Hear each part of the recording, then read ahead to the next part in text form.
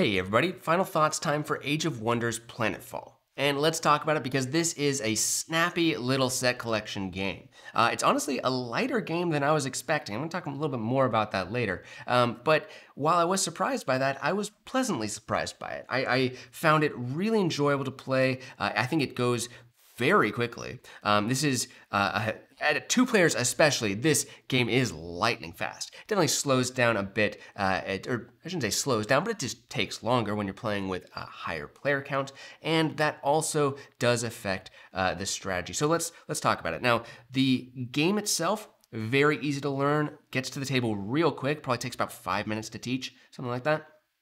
And you're you know, you're starting out and right away, you're taking actions, you're making moves, you're grabbing cards, and you're collecting those sets. Um, and what I find interesting is you set up this planet and you see, like, okay, there's minimum, there's going to be nine cards out here. Uh, if you play with more than um, three players, play four to six players, there's 12 cards out. And so you look at it and see, oh, there's so many things. Oh, if I got this and this and this, that would be great. No, you get two cards. Each planet, you only get a maximum of two cards.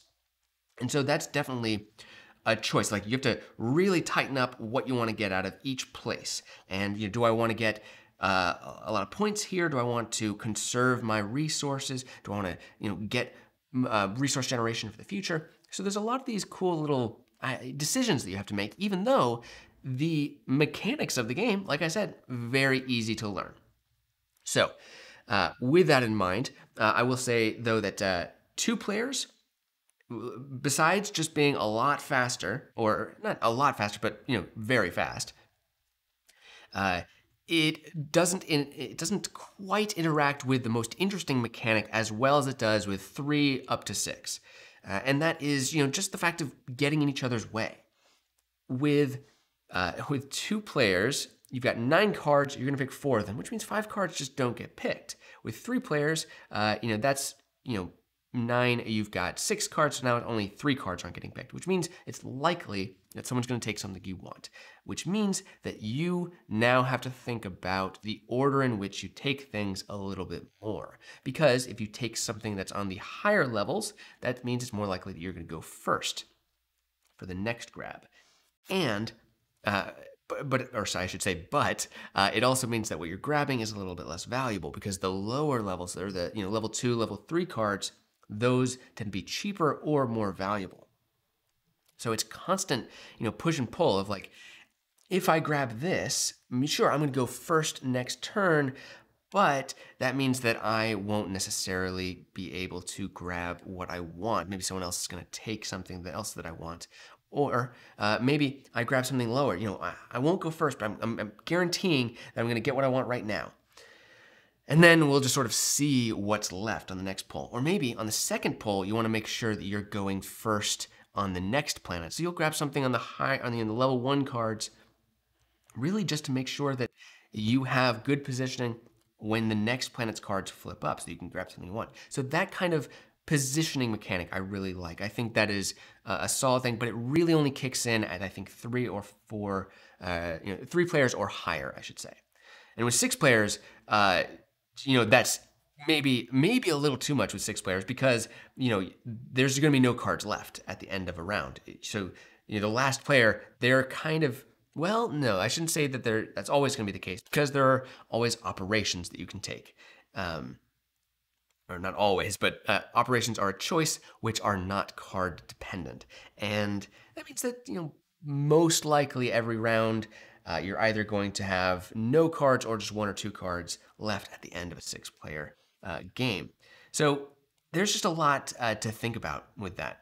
Um, six, I haven't played it at, at, you know five or six players, uh, so I, I, I can't say for sure. It does feel like that might end up being just a little bit uh, a little bit much, but hard to say. I, I, I, think that the sweet spot though is probably gonna be three to four. I think that gives a good mix of getting in each other's faces, but also um, you know allowing you uh, some choice with, with what you want to get, so you can build the kind of uh, you know collection that you're going for.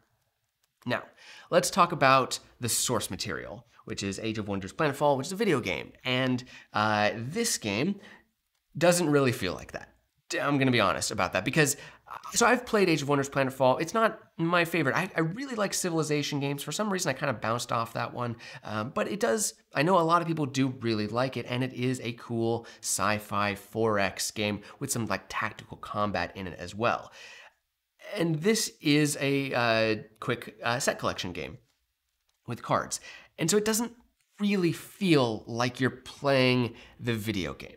Uh, there's definite connections visually to all the stuff. You know, all of the, the enemies that you're facing, all the factions you're playing as, they do visually look like what you're going for. I think the text uh, map out to some of the same text that you find in the game and all that stuff. These things are found there, you know, but beyond being more of just set dressing, I don't know that it really uh, will scratch that itch for people who really like the video game that it's based on. Now, I didn't mind that because I did really enjoy the way that I, I, have enjoyed what this game was. You know, it's got light set collection, it's got some end game scoring stuff that everyone can go for, some that you can pick up. You know, it I really enjoyed that. But if you've got your heart set on a big 4X experience uh, based on this game, that's not quite what you're getting here. So you do need to know that.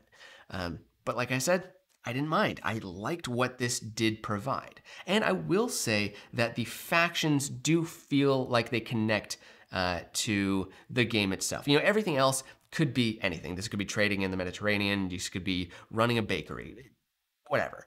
But I do think the factions connect to the factions in the game uh, in, in a way that feels, you know, satisfying. It feels like they are paying homage uh, to that, or, you know, drawing directly from it, I guess. Um, and and on top of that, they do play into the game very well. Each there are I think six factions, but each of them has two sides. The A side is a little bit more beginner friendly, it's just straightforward. Um, not to say that it's you know worse at all than the B side. B side tends to be a little bit more complex, but you can play with either side. Uh, you can mix and match when you're playing with them. Doesn't matter and and they're all fun to play as. I, I tend to like the B side just because they're a little bit more interesting, but uh, there's some cool stuff on all of them, and they do feel different. They do really change how you play. So I think that is a nice touch, and it does. I'd say it's the, it's the strongest connection to the source material. Um, but again, if you don't mind that it's not, you know, doesn't have the same feeling of the, the original game, I think there is still a lot to like here. So if you are looking for a light to medium weight set collection game with a really cool, uh, you know, uh, auction selection system and a great sci-fi theme, then definitely check out Age of Wonders Planetfall. Uh, all right, that's it for me, folks. Thank you all so much for watching. I'll see you next time. Bye-bye.